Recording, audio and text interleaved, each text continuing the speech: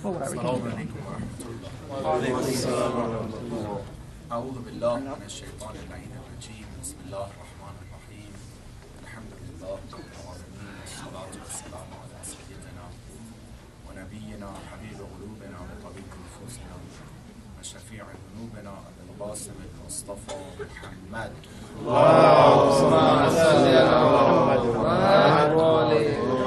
وعلى أهله الطيبين الطاهرين واللعنة الدائمة لأعدائهم أجمعين من الجنة يوم الدين. بسم الله الرحمن الرحيم. رب اشرح لي صدري ويسر لي أمري واحلل السلام عليك يا أبا عبد الله وعلى الأرواح التي حلت بفنائك.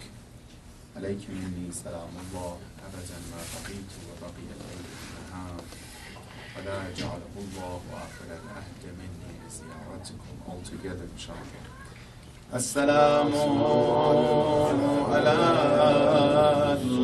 الحسين وعلى علي بن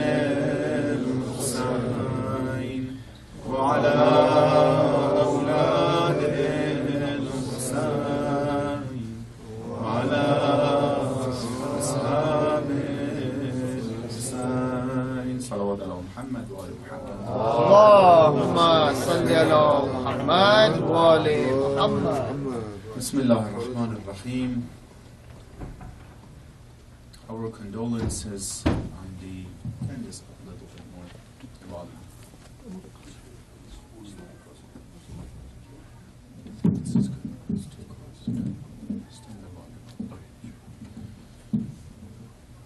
To the Imam of Asr, Imam Mahdi alayhi salatu wasalam, and to you all mu'mineen and mu'minat.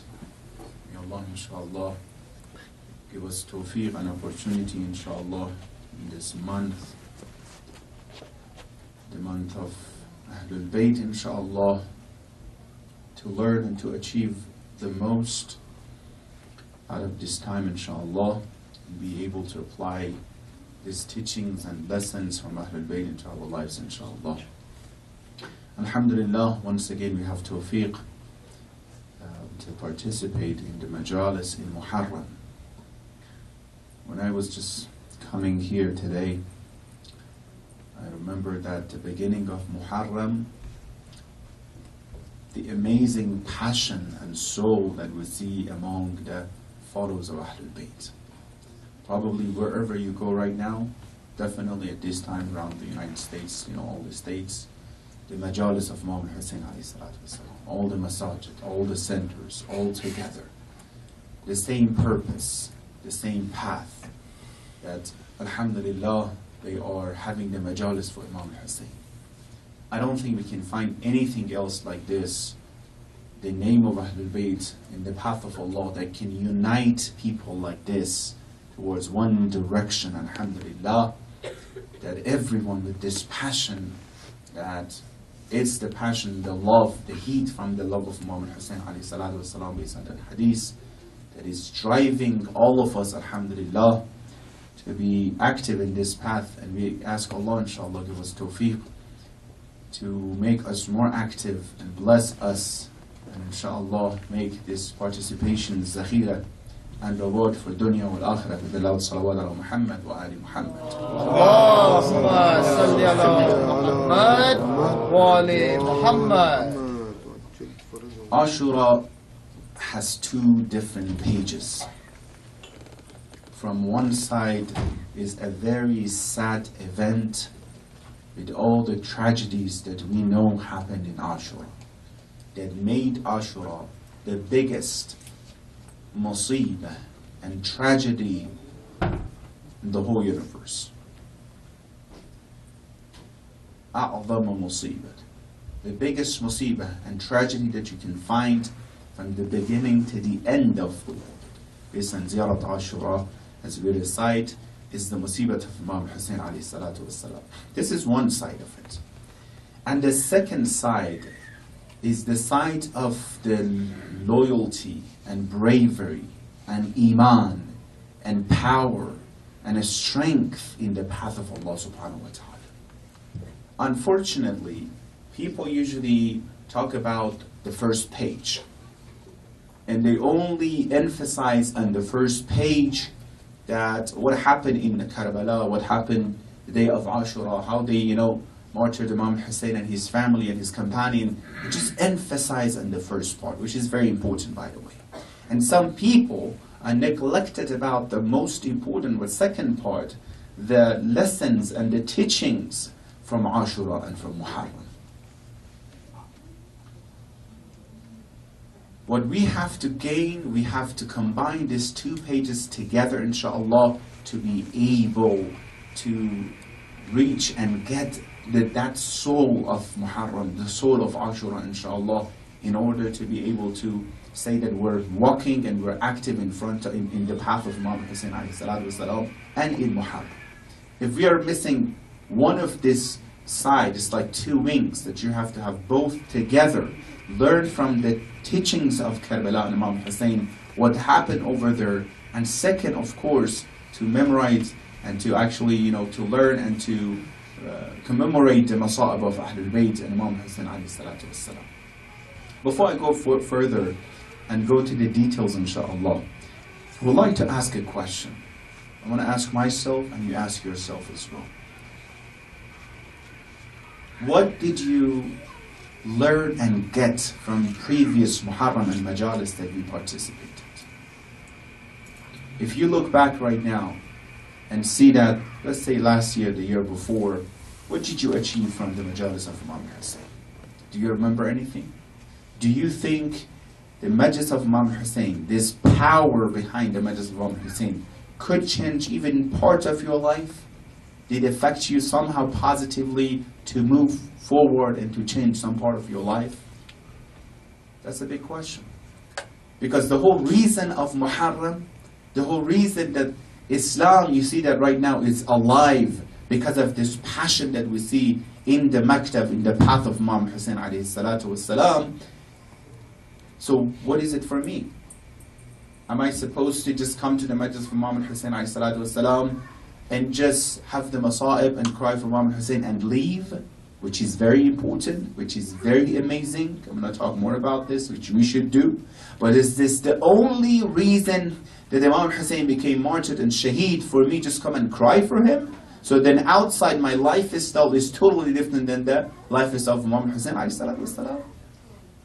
is the purpose of the shahadat of the best of all people at the top of Imam Hussein himself and his family is that group of people come and cry for Imam Hussein only and when it comes to their business, when it comes to their family, when it comes to interaction with others, when it comes to halal and haram, everything else is against Imam Hussein. I'm going to ask you, is this the purpose? If that's the purpose, then the first people who cried for Imam Hussein were those people who killed Imam Hussein, some of them. But they didn't get why. What happened? The message of Karbala, the message of Muharram, the message of Imam Hussein, والسلام, why Imam Hussein is coming there as a representative of Allah, as Imam. So what is the message over there? So I'm going to ask this question. What did we get from previous Muharram? I purposely pause a little bit so we can think as well. And that's about past Muharrams, the previous Muharrams that we had. And I want to ask the same question for this Muharram. Now what is your goal for this Muharram? Now what you want to achieve from this Muharram? Do you have any plan? Because Muharram is so strong, it's so powerful, that can change people. Not within two, three, four, five, ten days, within few seconds and moments. We have the proof. You know that proof. Yazid Riyahi, right? Within few moments, few minutes, he realized what he's doing. And from going directly to, to you know, the hellfire, he's going right away to what? To heaven because of the power of Muharram. Because of this, look at it as a university that has a lot of graduates with the highest level of, you know, degrees and grades that you can imagine. Abul Fadl Abbas himself. Zainab salamullah alayha. These are the graduates from the school of Muhammad Hussein right? Now this Muharram has this much power And now that I know that Alhamdulillah I have the tawfiq to be registered in this in this class, in this academic environment that we can find it to learn, what is my purpose now? I'm sitting here for what? If they give a paper and a pen right now, from right side all the way, go all the way, come here, write down what do you want to have from this Muharram. What part of your life you want to change to get closer to the life of Imam Hassan How many of you guys, you already thought about this? How many of you, you know exactly what you want to do? Otherwise, it's a purposeless, you know, movement. However, just coming to the majlis of Imam Hussein, it's blessings from Allah subhanahu. Entering the majlis, breathing in the majlis of Imam Hussein alayhi is tawfiq from Allah. Entering the majlis of Imam Hussein, it's as entering heaven. Look at this, I'm just putting this together, very important. The hadith is saying, the carpet of the majlis of Imam Hussein is the wings of Malaik, the angels. That side, just being in the majlis of Imam Hussein and breathing, you need to, you have to have tawfiq. But okay, Alhamdulillah that we have tawfiq. Alhamdulillah that Allah gave us this opportunity. So what else? How can I do to maximize this opportunity and power so I learn and get as much as possible from this? So that was the parentheses and the parentheses that we have to think about this. What do we want to learn from this? And we have to have a purpose. All of us. Let me tell you what. What I might, Muharram has different, you know, messages. One general message that we can find for everyone to learn the bravery, stand up for justice and rising, all the thing. And some personal messages for every single of us. What I might need from this Muharram might be different than yours. You have to look at yourself to customize this Muharram for what you need in this Muharram. What you need to get from this Muharram. Matter of fact, if you don't pay attention to this personal aspect, that what am I supposed to change? What what do you mean say it? I mean what part of my life is not similar to the recommendations of Imam Hussein What part of my life is away and further away from the life of Imam Hussein? My business? My family? my child rearing, my interactions with others, my salat, my fasting, what part of it that is not close to the life of Imam Hussein that I have to, my temper, my marriage, what part of it that I have to change that I see, you know what? How many years I know that Alhamdulillah I'm a follower of Imam Hussein والسلام, and how long do I see that I'm changing my ibadah? Do I see the quality of my ibadah is changing? Imam والسلام, says two of your days should not be equal. do I see that? My salat compared to last Muharram, I'm saying two different, you know, whole year. My salat compared to last year is a different salat, has a better quality.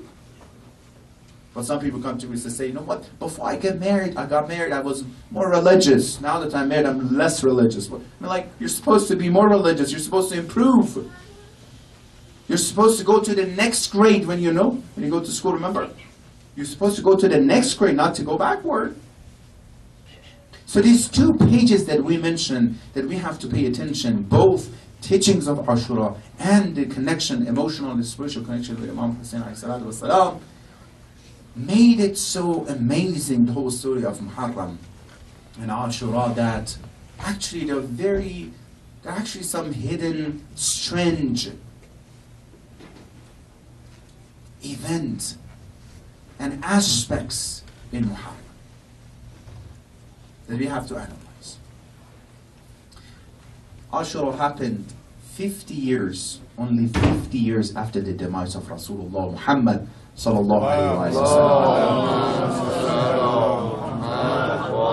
By who? By those people that some of them are the companion of Rasulullah. By those that they claim that are the lovers of Ahlul Bayt in Kufa, right? Under the allegiance of those people that they call themselves the Caliph of Rasulullah. Killing who? The grandson of Rasulullah, that Husaynun minni wa ana min. Everyone narrated this. It's strange. How is it, how is it possible that those people who are the Caliph of Rasulullah, up until the last three years of the life of Rasulullah, they tried to kill Rasulullah and they were fighting with him. Hmm? Abu Sufyan, For 20 years, he fought with Rasulullah and he wanted to kill Rasulullah. And we see that within the last three years, they had to convert to Islam unwillingly because they're losing everything. and we see that 30 years after that, Muawiyah become what? The Caliph of Rasulullah. And 20 years after that, they're killing Imam Hussein. What happened to that society? Two questions. Who are these people? Who are this Bani Umayyah? Who are this, this tribe? That those of Rasulullah himself, you know, he rejected them. They got the power. And the second question that we would like to answer throughout all these days and nights how come those people who claim to are the lovers of Ahlul Bayt, the followers of Ahlul Bayt actually, they prayed as Muslim. They buried their deceased one as Muslim. They fasted as Muslims. They did, they go to Hajj as Muslims. How is it possible that these people would stand in front of Imam Hussein والسلام, and they kill him? Don't you think it's strange? Something is going on here. Something doesn't add up here. How is it possible the enemies get the power and those they, they know who Imam Hussein is, sending 12,000 letters to Imam Hussein that they're asking him to come back, they stand in front of Imam Hussein and kill, kill. Let me explain one thing.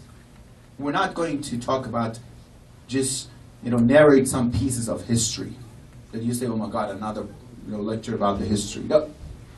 Matter of fact, we have to look back to see what happens for the sake of our current time. Because it looks like we're so similar. It looks like the history proof that it's going to repeat again and again. We do this every day. When you want to apply to a university, you know what you do? You go back, look at the rate of the university, look at those who graduated from that university, Look at past people before you. They were there. They studied there, and based on their success or failure, you decide to what? To go there or not. When you want to choose a good physician, doctor for yourself, what do you do? You tell me. You go read the rates, right? You go read the comments of those people who use that person or that business to see what were their experience. Was it a failure or success? Based on that, you decide what you want to do today. Am I right or not?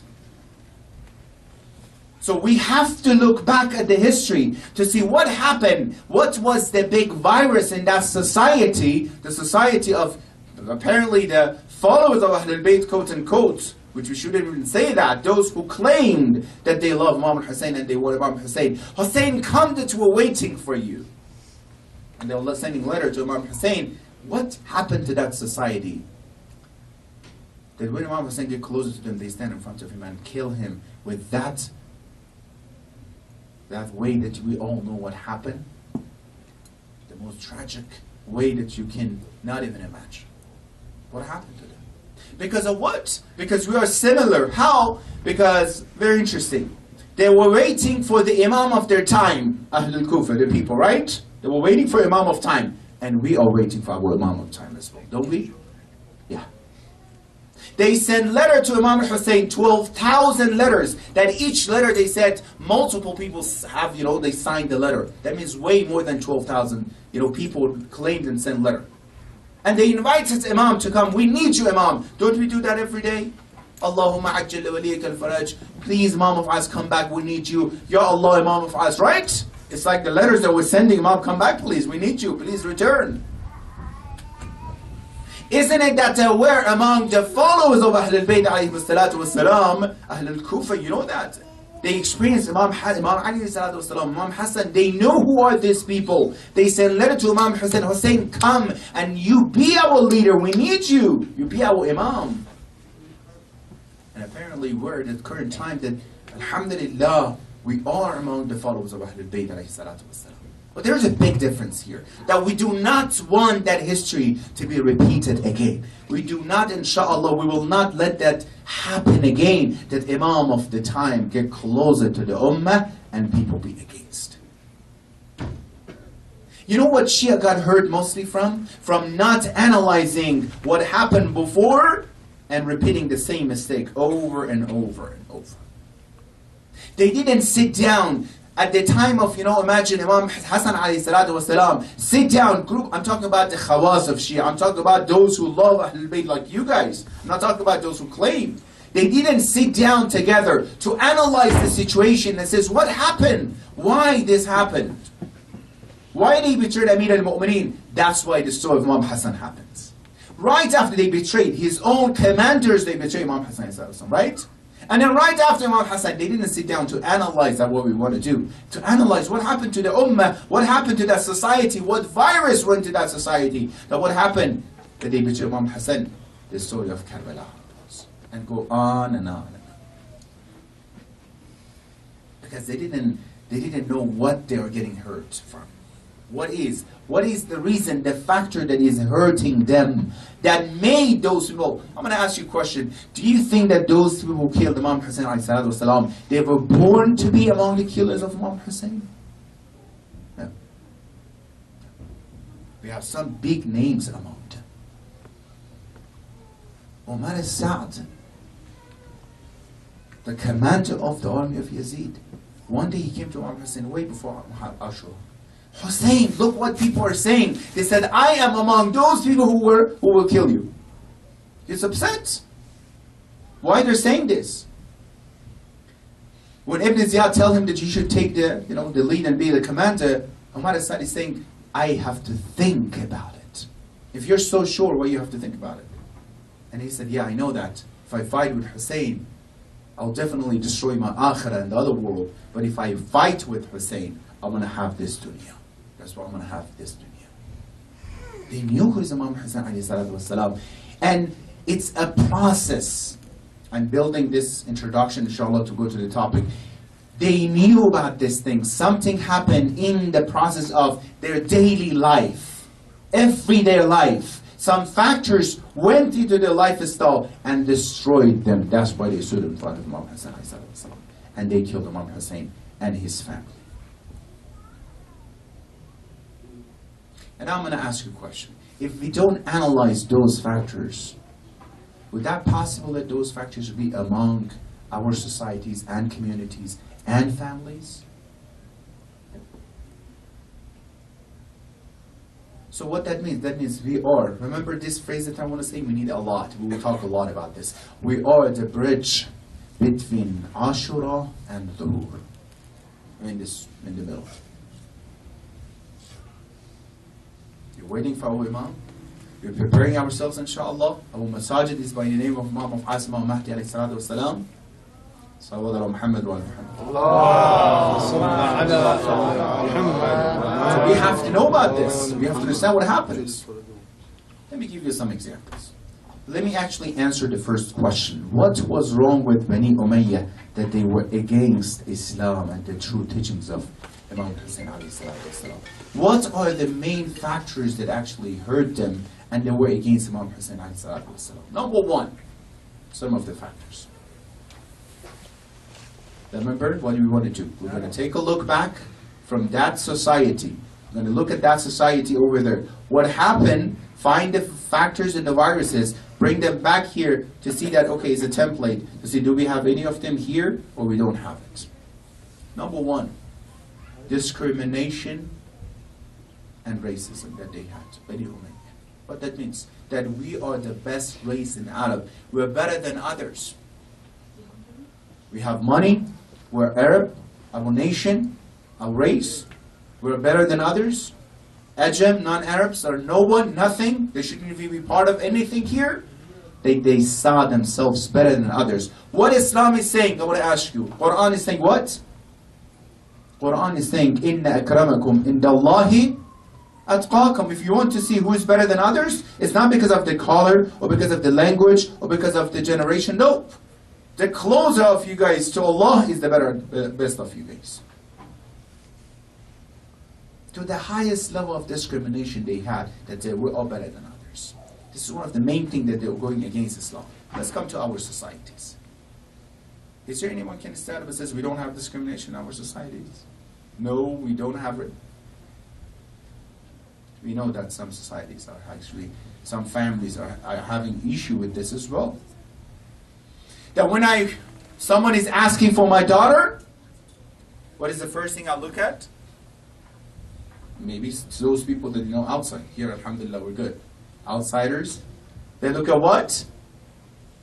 bank account, financial stability. They look at the color, they look at the language, they look at the race and nation. Someone came to me, one of the youths said, a sister said, someone is asking for me. Two people are asking for me. One of them is practicing, but is not with the same nation and you know race, nationality as my father. And someone who is not practicing, but he's the same, you know. My father said, no, that person that is from the same language. What is it? Is it discrimination? I have all the clients come to me, specifically youth, talking about this and different issues related to that topic that, you know, either the financial aspects, money wise, or. I think we have to go a little bit further. We have to go talk about some details here so we know what's going on. If someone, if I'm coming to the center, for example, when I look around, I want to sit next to someone. Do I look for that person who has higher, you know, social statuses than others to sit next to him because, you know, he's mashallah, he has a lot of money, or or will I sit next to that person that probably others they don't respect him that much or her? Something that we have to see that here's the thing. If you tell someone that very simple example. If you tell someone that you are like Shimr, that person says, astaghfirullah, you're insulting me. You shouldn't say that. But if I tell him, you know, you're jealous, and Shimr had the jealousy as well. One of the main characteristics of Shimr that actually lead to the Shahadat of Imam Hussein was jealousy. So what do you mean you're not like Shimr? One of the most characteristics of Shaitan actually is what is jealousy. So what we want to analyze is the characteristics of those people to get away from those characteristics. Because the reason that the best of people in the Muslim societies, the highest, the most respected one, became the dhalil and became, you know, humiliated one. You see that after Ashura, what happened to them? And we see some people like the slave of Imam Hussein, you know, Ghulam of Imam Hussein, alayhi salatu the slave of Imam Hussein, becomes among those people that no one respected him at that time. But me and you, when you recite the ziyarah, says, Ya laytana kunna ma'akum We wish we were like you, the slave of Imam Hussein. What happened that those who were in that lower statuses came up, and those who were up like Umar al-Sa'd, they became dhalil and humiliated. Yeah. One of we have to analyze these characteristics. One of them was this. This discrimination that we see a lot among the societies is still. The second factor that I would like to talk about this. The lifestyle of people at that time, the lifestyle of Bani Umayyah, and the lifestyle of people of Kufa deprived them from assisting the Imam of their time. What do you mean? They mean he came to Imam Hussein. The Imam is coming, getting close to Karbala. All right? And he is seeing one of people of Kufa and telling him and inviting him to come and help him. Look at this. Imam of time, Imam of Asr, Imam Hussein is calling someone and is asking him to come and help us. You know what he says? You know, Hussein, I really wish that I could help you, but my family and I have my cows and camels and sheep, someone should take care of them. You know what it is? Being attached to this dunya. The lifestyle that they created and they built for themselves is depriving them from moving forward. We have the hadith that those people that are so attached to this dunya and everything for them is just making their $2, $4, $4, $8 and go on and on. Those people at the end of their life, billah, when they, when Izra'il comes as goodbye, you have to go. It's so difficult for them to say bye. Why? Because all the money and the asset comes in front of their eyes and doesn't let them leave this dunya because they're so attached to something. They're so attached to dunya. We have to bring proofs. Omar al-Sa'd is a perfect example. The commander of the army Look what happened he said, I know killing Imam. He said he knows Imam Hussein. He knows Imam Hussein is the son of Amir al-Mu'mineen, the son of Zahra, the grandson of Rasulullah Muhammad sallallahu alayhi wa alayhi wa sallam.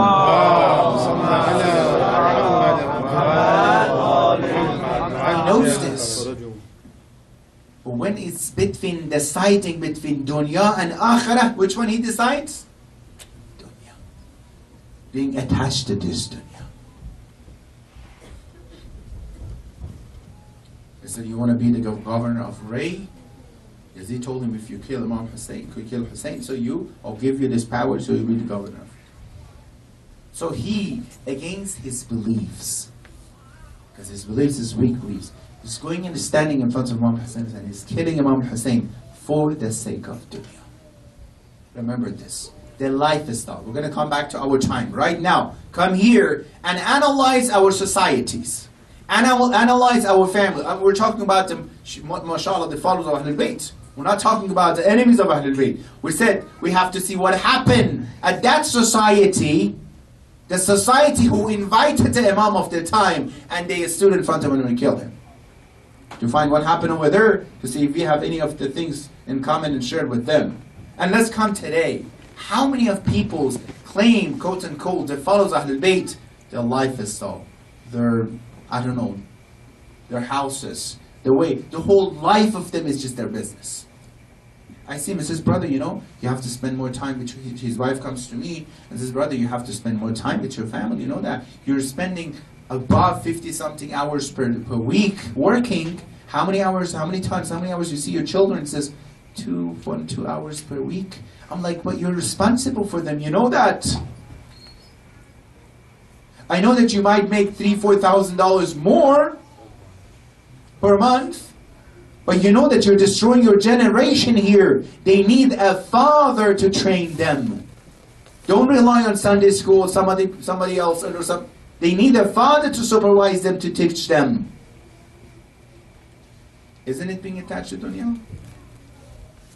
Don't you think that at the day of judgment they stop you and they said, okay, so you destroy this generation, if someone, one of them from this generation, one of your children, na'uzubillah, go against the path of Allah and Ahlul Bayt and doesn't practice, they might stop me. What did you do here?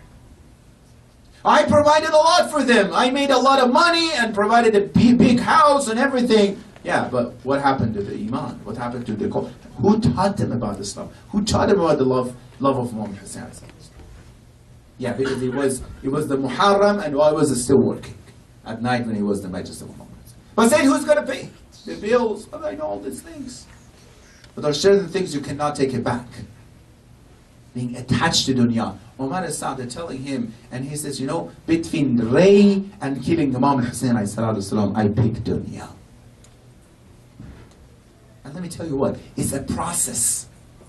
It's a process. Someone cannot say, do you think those people who stood with Imam Hussein, who helped Imam Hussein, the companion of Imam Hussein, do you think there are those people that all of a sudden they feel like so emotional and they were against everything, their much, everything changed, and all of, all of a sudden they came and says, yes, let's go help Imam Hussein. No. The history, look at their history. They did something that they had the tawfiq to become among the shuhada of Karbala that today million and million people when they go to ziyarat of Imam Hussein, they go to the ziyarat of the Shuhada of Karbala as well. It's not randomly that some people got emotional. On the other side, it's not randomly that some big, big name in Kufa among the followers of Ahlul Bayt, they failed and they didn't help Imam Hussein. In Kufa, we have different groups of people. I'm going to say that, so come back to this life itself, the society, see if we have or not.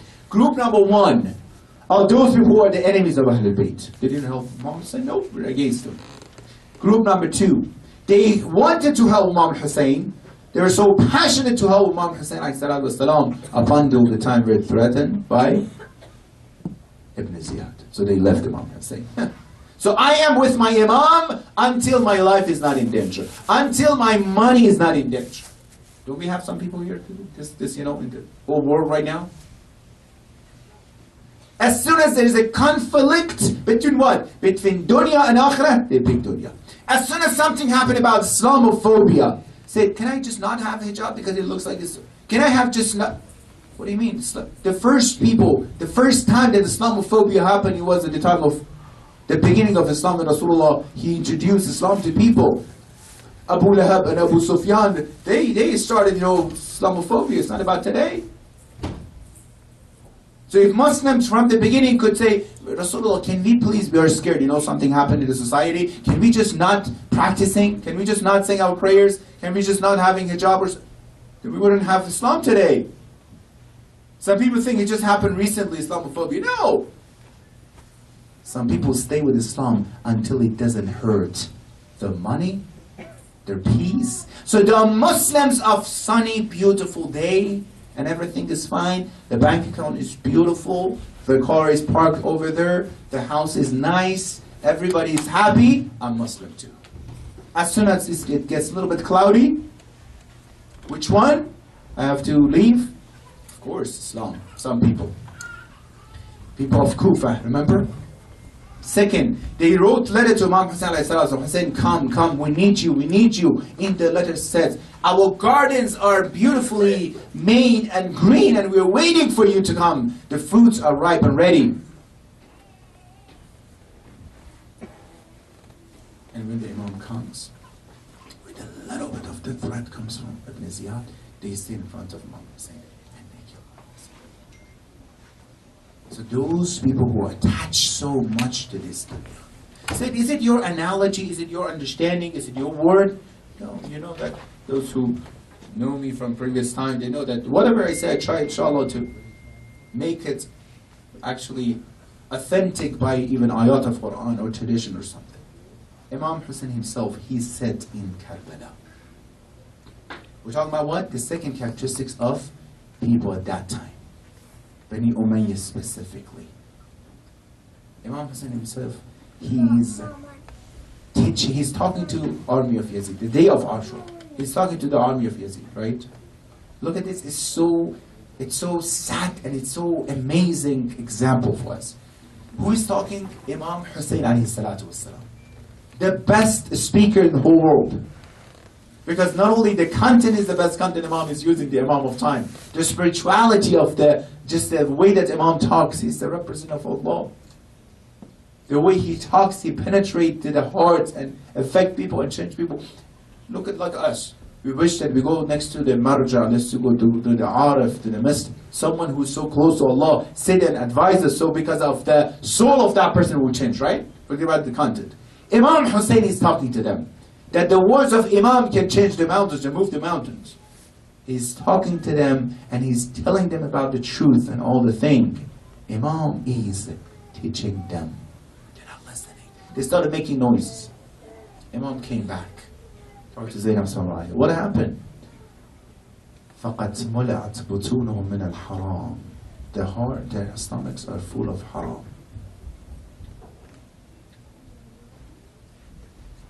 And then Imam on the other side says, الناس عبيد الدنيا والدين لعب على ألسنتهم People are the slaves. These people over there, he was talking to these people. These people are the slaves of dunya. The last, the highest, actually, sickness that you can find for a heart is what Imam says. Being the slave of dunya. Because me and you, we like dunya, right? We're working, and that's good. That's Muslim, we work, we provide for our family, we want more, we work for more, we want for promotion, right? This is not bad. In the hadith, in the ziyarah, in the dua, in dua Imam Sajjad, it says, Allahumma awsi' fi rizqi, Ya Allah, I want more rizq, more money. This is fine, this is good. Up until the time that is conflicting with what? With akhirah, right? But that, the sad, the, the, the, you know, the disease is here when Imam says. They not, they don't like it. They are the slave of dunya.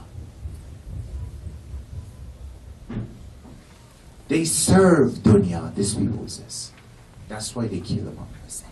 That's why he had the, look at this. He had the head of Habib, the one who killed him. He's coming to Kufa, at the gate of Kufa. He saw that a young person is standing and he's, he's looking at the head and he's sad. He says, can I help you or something? He says, yeah, you have the head of my father in your hand after Ashura. So the guy was a little bit touched. Said, Oh, I'm sorry about this. He said, At least, the son said, At least give me the head so I can bury. He says, Yeah, I really wish I could help you, but if I take it to the palace, they're going to give me more coins. What happened here? Yeah. We're finding one of the viruses and sicknesses of that society. And by the way, the old people of Kufa, they're not, you know, cowards. You know, Kufa, the city of Kufa was built at the time of the second caliph. Why? Because they wanted an army city close to a place like Iran at that time and Persia at that time, so they invaded. So they wanted something close by only the soldiers. You know, people of Kufa were so brave. Majority of them are soldiers. To have that city over there. The same brave people and knights, what happened? Ibn Ziyad comes and sit on the minbar. The first khutbah in the sermon, he says, you see that I see some heads ripe like uh, like a ripe you know fruits ready to be picked. That means I'm gonna you know kill you guys. As soon as this group of them, the same soldiers, they got scared. Oh, okay, so you know, and he didn't start at the beginning to say, okay, let's go kill Hussein. No, the first thing Shaitan comes, the first thing he asked them is that just stop the bay'ah and allegiance with Hussein. And they're like, yeah, it's not bad thing, so we're not going to kill Hussein. We just, you know, we just break our allegiance with him. Huh? So we're not going to help Muslim ibn Aqil anymore, right? Just one thing. Muslim is not Hussein, so that's fine, be against Muslim. You know how justified. The second, Ibn Ziyad comes and says, you shouldn't go to the army of Imam Hussein. They're like, yeah, we're not going to kill, probably, you know, we're not going to kill Hussein. Let's not just go there, you know. Step by step. You know how shaitan comes and, you know, deceive people. So this is what happened to these people, dunya. We're going to talk a lot about this. Like I said, dunya is not bad. In the salat that we recited together, we said together, what did we say in Qunut? Rabbana, if you, you memorize, I think so, right? Let's recite together. Rabbana, atina, hasana, fi dunya hasana. I want in dunya hasana, goodness in this dunya as well. So if it's this dunya is so bad, what are you want, you know, hasana with this? Amir al-Mu'mineen, he showed who is Amir al-Mu'mineen in this dunya, right? For us. The companion, the soldier of Imam Hussein, reached that level through this dunya. So we can use this dunya for the goodness. It's that moment that I see between dunya and akhirah. When it comes between my salat and my business, between my salat and my education, between my deen or my society. That's the problem. People of Kufa, they decided to go with what? Their dunya. Leave their deen. As I said, Umar Hassan says, I know standing in front of Hussein, that means I'm destroying my akhirah. But there's a lot of money here. By the way, Mom says to him, you will never eat from the bread of Ray. Believe me. Imam told him, told him, Umar al-Sa'd, you're not going to get there. You're not going to have that promise that they gave you when you become blind by dunya. Before, before, before Ashura, the day before, I believe. Imam and Umar said they had a meeting. Imam with a few of his companions, his son, and Umar Sa'd with his son as well. They met each other in the between, in the middle of the two armies. Imam told Umar Sa'd, it was a private message, a private meeting. Imam told him, Umar Sa'd, why are you fighting with this? Why you want to fight? Don't do that. Anyhow, so you know, because of dunya, I'm afraid they will destroy my family. Imam says, I will protect your family. Or something. He said, they're going to take my money, my houses and everything. Imam says, I will give you better than what you have in Kufa. Better houses than that you have in Kufa. Nope. He's not listening. He doesn't understand. Why? Because dunya comes and make that person blind. This is one of the things that we see that happen in the society. And like I said, coming to our society, we have to see that if any of these issues, if any of these characteristics we might have in our societies that we have to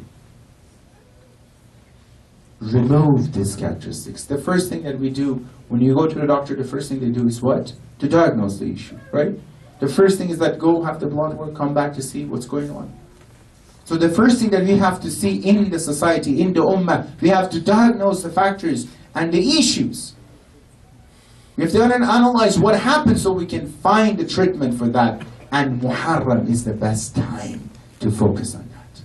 Even personally, we have to focus on this and to see that in my personal life, I am supposed to be, I'm supposed to improve myself. I'm supposed to change myself. My akhlaq, my temper, my spirituality, my salat, my ibadah, it's supposed to be changed, it's supposed to be better. What is that reason? What is that virus? You know, sometimes they take someone to the doctor and says, you know, God forbid, may Allah, inshallah, cure all the, inshallah, patient and sick people, inshallah. But sometimes you take them, you know, they take them to the doctor. The doctor tests everything, says everything looks fine. But there is a reason that he is sick, she is sick. They can't find the reason. We go to Ramadan, mashallah, fasting and ibadah and everything is fine. After Ramadan, gradually start losing that emotion and that, that passion that we built through Ramadan, right? We come to Muharram, we become so passionate, and alhamdulillah, with the name of Muhammad Hussein and Allah and learning and being emotional and we decide a lot of things. After Muharram, gradually, you see that it's fading.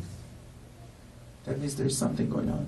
One of the ulama was saying very nice. He says, it's like you have a big bag and you're putting a lot of treasures, beautiful jewelers and everything into the bag, but at the bottom of this bag there's a hole. Whatever you put, the salat, the ibadah, the mashallah, coming to the majalis and all the things, but there might be something. That means what? My temper. Breaking someone's heart. The way that I make money. My akhlaq, my sabr, patience, my tawakkul, my salat. Every one of those holes of it. The way that I talk. Anyhow, so this is this is so important inshallah to focus on so that's what we have to analyze to see what is going on, to learn, as I said, we do every day. We look back in the history of people, what made, made them successful, might make them failure. And be, based on that, we decide if we want to take that route or not. Now that, alhamdulillah, we are in the path of zuhur, we are in the path of, inshallah, mahdawiyya, we are in the path of improving ourselves. We are in a world that things are changing so fast we have to understand what happened in the past. What happened? What made them successful? What made them failure? What helped on the other side as well? What helped the companion of Imam Hussein that they could stand in front of Imam Hussein and sacrifice their life for Imam Hussein as well. It's not just bad people of Kufa. No, look at the good people of Kufa as well. Good people, the soldiers of Imam Hussein. What made them at the night of Ashura, Imam, you know that turn off the light that says, guys, you know what? They want to fight with me. Why do you want to? I take my oath, my allegiance. You can go on that night, take the hands of my family, and leave and go. What happened that they stay, stay there, stand up, and says, Ya Hussein, where we're supposed to go? Ya Hussein, if we have multiple, multiple thousand lives, and we come back again, we still want to sacrifice ourselves to you and for you. If they burn us, we'll come back again to life. We want to still be sacrificed for you, Ya Hussein. What made them so brave? What made them to be successful in this path? Ya Hussein, help us in this Muharram. Wherever you're sitting, close your eyes. See yourself in the haram of Imam Hussein alayhi salatu wasalam and say, Ya Hussein, we know about these things. I'm going to say, I'm going to talk on behalf of myself. Ya Hussein, I did whatever I could. I will do whatever I can. But I need you, Ya Hussein, to take a look at me and my life and change it. I want to say something, Ya Hussein. This group of brothers and sisters, the muhabbin and those who love you and your family. The only reason they're sitting here tonight, Ya Hussein, is your love. As soon as they hear your name, they cry for you, Ya Ya Hussein, come to the see even our little children, they have black clothing because of your Muharram. Ya Hussein, everything already started, the whole passion here, Ya Hussein, because of you. Come to our majlis and our majalis, Ya Hussein, and bless our majlis. You help us, Ya Hussein, yourself to change.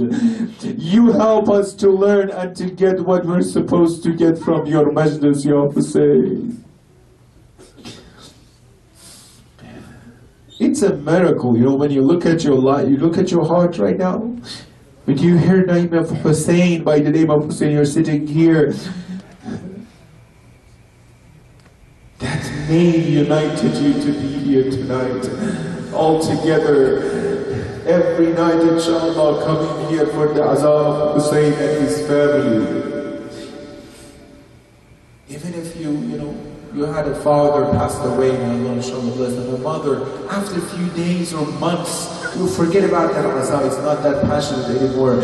What is in the name of Hussein? And after all these years, almost 1400 years, as soon as you hear the name of Hussein, you start calling for Hussein. Close your eyes and let's go to Karbala.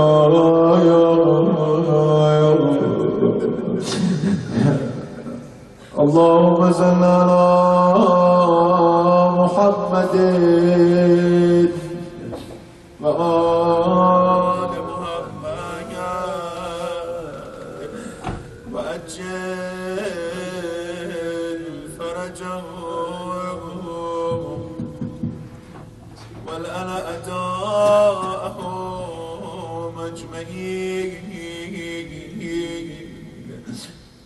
السلام على الحسين See yourself in front of the Haram of Hussein. On one side is the Haram of Abul Fadl Abbas. You know what's going on in the first night of Muharram in Karbala right now. Good for those people who are there now. and see yourself in front of the Haram and say, Assalamu ala al-Husayn.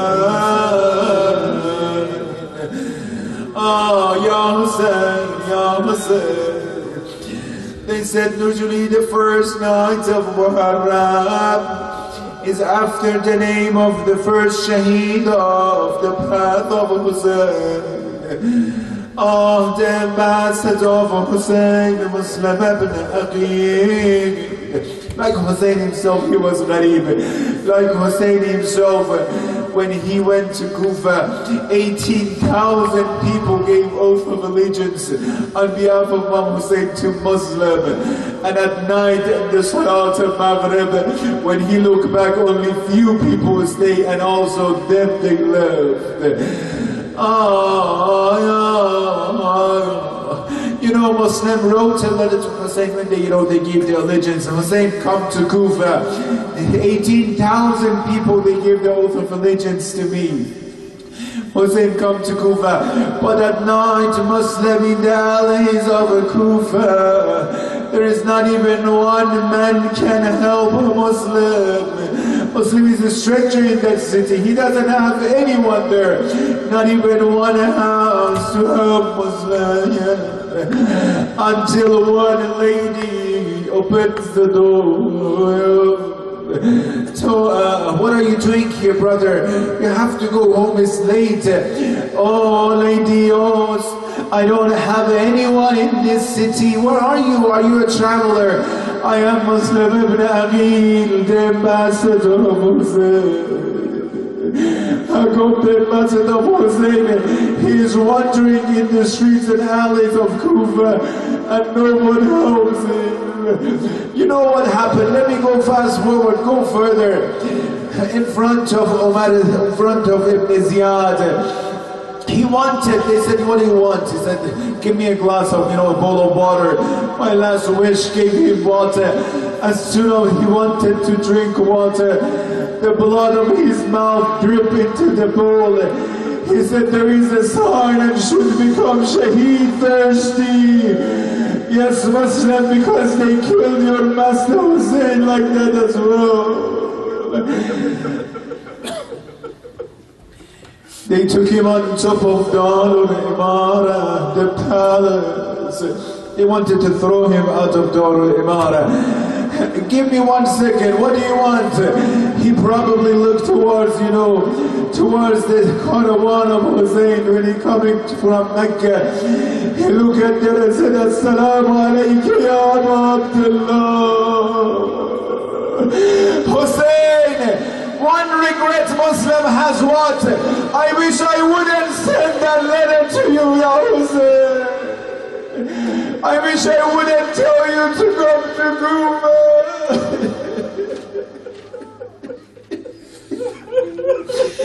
I don't know, I want to say this on behalf of Muslim. Hussein, if you want to come to Kufa, come but don't bring Zainab with you. Hussein, if you want to come to Kufa, to Karbala, come, but don't bring Ruqayya and Sukaina with you.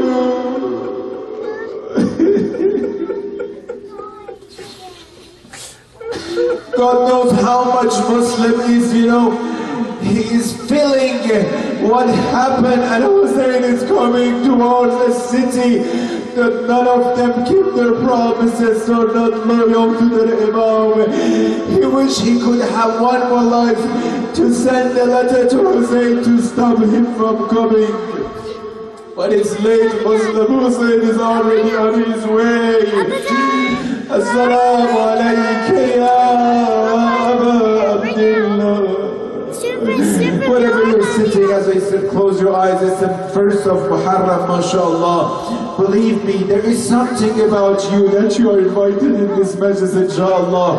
There is a reason that you are in this majlis, inshallah. Close your eyes and let's say this salam. Assalamu alaykum ya Aba Abdillah. وعلى الأرواح التي حلت بفناء عليك مني سلام الله أبدا ما بغيت وبقي الليل والنهار ولا جعله الله آخر العهد مني لزيارتك Wherever you're sitting, raise your voice, inshallah, you would reach Karbala. Assalamu ala. MashaAllah, now inshallah, it's the first night of Muharram. Assalamu ala.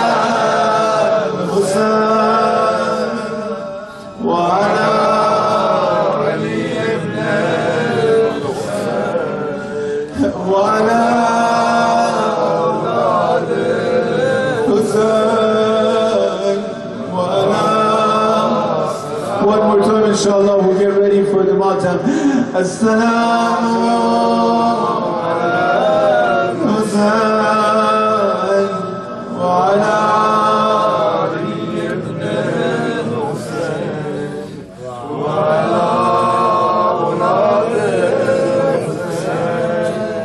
وعلى لعنة الله على القوم الظالمين If the brothers want to recite this, come forward. A few du'as, inshallah. Please come forward. Ya Allah, Ya Rahman, Ya Rahim, hasten in the zuhur of our Imam, Imam Mahdi. Ya Allah, give us tawfiq to be among the true followers of our Imam. Ya Allah, give these brothers and sisters the best of khair that you give to the best of all people of your servant in Muharram. Ya Allah, help our youth, make them successful in dunya wal akhirah. Ya Allah, Ya Rahman, Ya Rahim, those who cure them in this moment, and those who are who passed away, send the thawab and reward out of this majlis to their soul, inshallah. All together, get ready, inshallah. Ya Hussein, oh Ya Hussein, Ya Hussein, oh Ya Hussein, Ya Hussein, oh Ya Hussein. Ya Hussein, oh Ya Hussein.